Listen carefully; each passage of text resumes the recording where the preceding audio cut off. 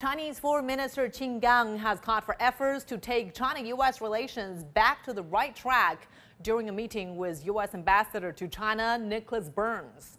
Now, Qin says China-U.S. relations are not only significant to the two countries, but also for the world.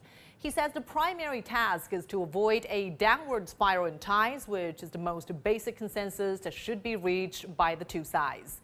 Qin also urged the U.S. to respect China's bottom line and stop harming China's sovereignty, especially on the Taiwan question. He says China welcomes Ambassador Burns to become a bridge between the two countries and make more constructive efforts.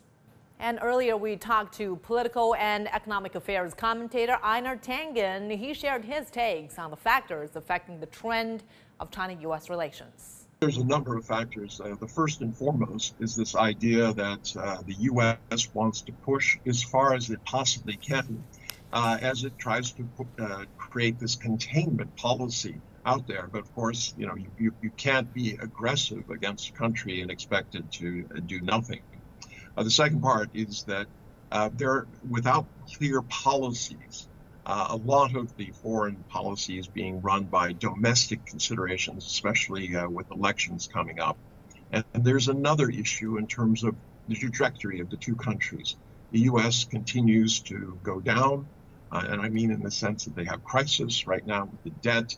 Uh, there's divisions here on a daily basis about um, you know mass killings and things like that, whereas China continues to go economically up and is um, still uh, doing very, very well